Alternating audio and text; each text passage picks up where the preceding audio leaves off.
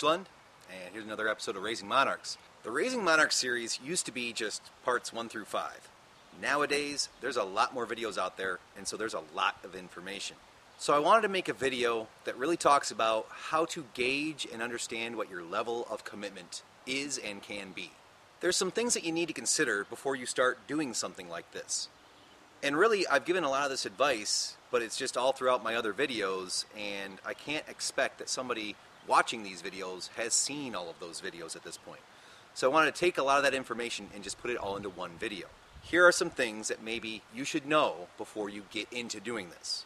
And hey, if you're already doing this, this is still worth your time as far as some things to consider before you decide to take it to the next level or maybe scale back your operation. If you want to help out the monarch butterfly population east of the Rockies or really any population, I would say that there's two essential categories that you can be involved with. The first category, planting milkweed. The decline in the monarch population seems to be primarily due to a loss of habitat, a loss of milkweed options to lay their eggs on.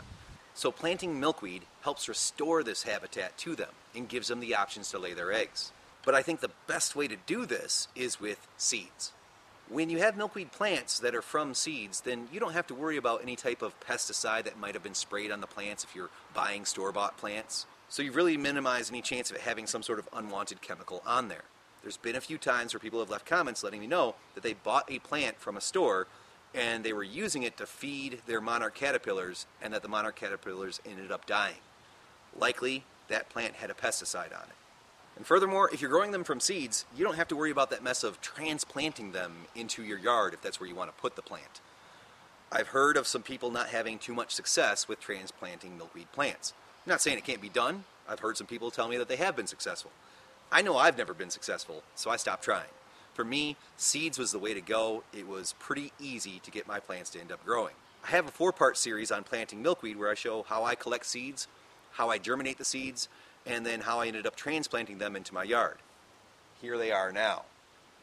You can see that they're doing fine. And I also can trust that these don't have any pesticides on them, and I didn't have to worry about transplanting a plant and the failure involved sometimes with that.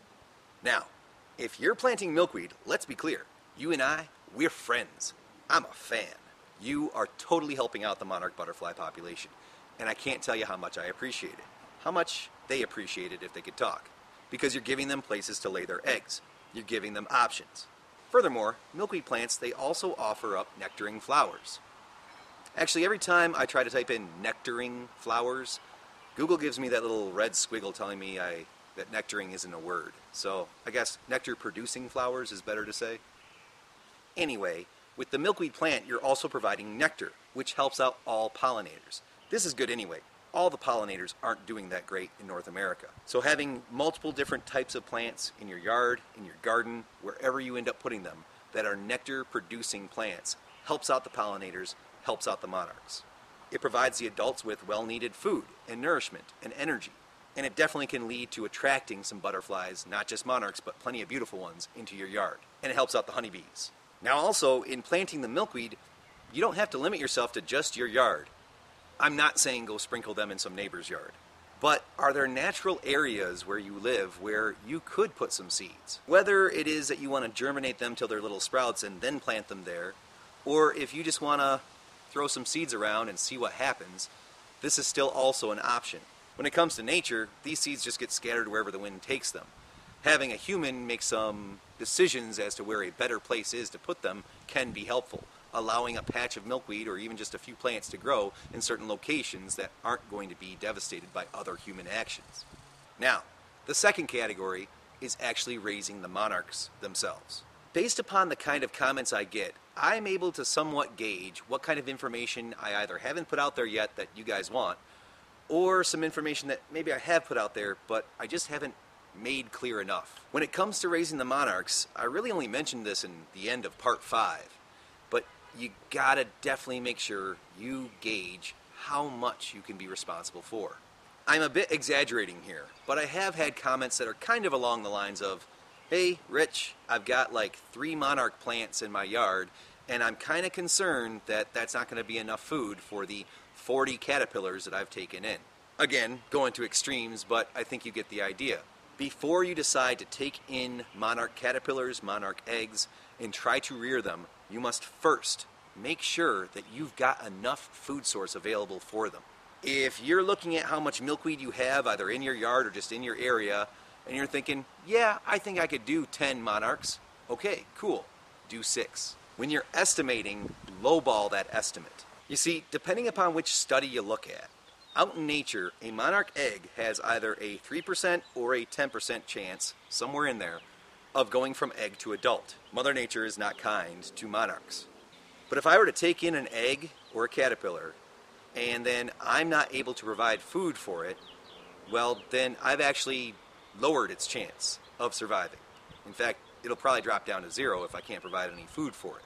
If you get into a situation where you thought you could take care of 20 caterpillars and you're running low on food for the last five of them, I don't know what kind of help or advice I can offer you. The best way to deal with a situation like that is to prevent it from happening in the first place. Next thing you got to know going into this there's going to be losses along the way. I hate to say it, but it's going to happen. Let's highball it and say a 10% chance from egg to adult. That's out in nature. Well, even when you take them in, you can't expect a 100% success rate. Hey, maybe if you're only taking care of 2, 3, 4, 5, maybe even 10, maybe you do get a 100% success rate. Awesome. But if you're getting into numbers like 20, 30, 40, you're going to likely have some losses, even if you are keeping things very sanitary, you're making sure to care for them very much. If you're not ready to emotionally deal with that, then I would recommend not doing that part of it. Just plant the milkweed and call it good.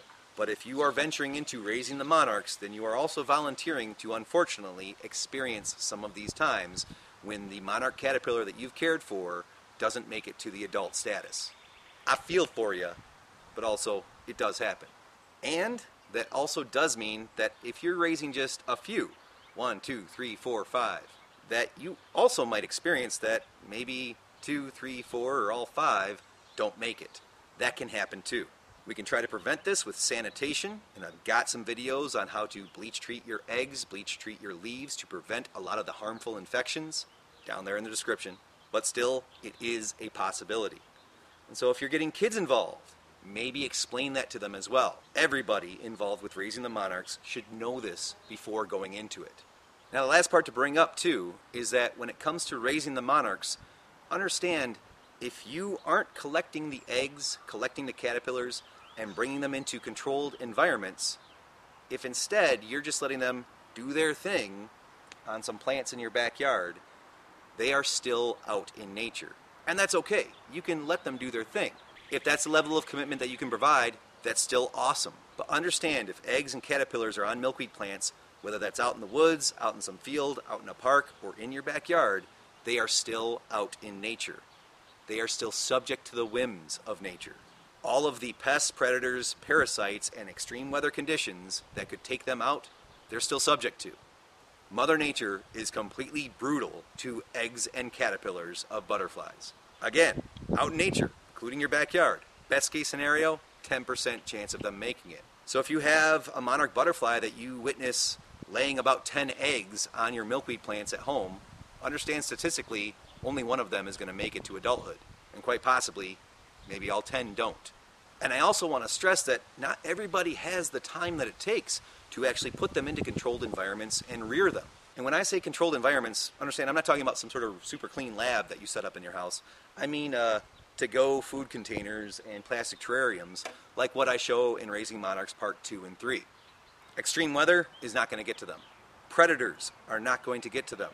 And while you still might need to be concerned with certain types of infections, whether they're parasites or viruses or bacterial infections that might be on your leaves, if you are bleach treating your eggs and bleach treating your leaves, then that also is almost 100% eliminated. I go into detail about these different types of monarch and milkweed pests and predators in the video called Pests and Predators, also in the description. So if you want further details on their specifics, go ahead and check that out. But for now, let's just say and point out that if you're leaving them on the plants, yep, they are subject to that kind of natural pest or predator interfering with them. If you take them into controlled environments, then you don't have to worry about those at all. And that's the solution that I got for you. In the core of the series, Raising Monarchs 1 through 5, I show you from the start to the finish what my procedure is. You don't have to do it exactly how I do it. That's up to you. You can make your own choices. I just wanted to get some videos out there that show you here's what I do and what I've had success with. Just understand also though, if you deviate from my procedure and because of your deviation you run into some problems that I haven't had to deal with, I don't know that I have any good advice for you because I haven't really had to deal with that problem before. I can only really talk on what I know of, what I've encountered before, and I can tell you what I might do in your situation. But if you want to avoid those situations, keeping them in controlled environments is the best way to go. I really hope that none of that sounded harsh. You gotta believe me. I am not in any way trying to tell anybody what to do. What you want to do is up to you. It's your choice. And if you're planting milkweed, you're awesome. And if you choose to raise monarchs, you're awesome. I just wanted to put all into one video the things that I think I would want to know before getting involved with this. I'm Rich Lund. Thank you for checking this out. And I want to wish you luck on your raising monarchs season, whether it be planting milkweed or raising the monarchs themselves.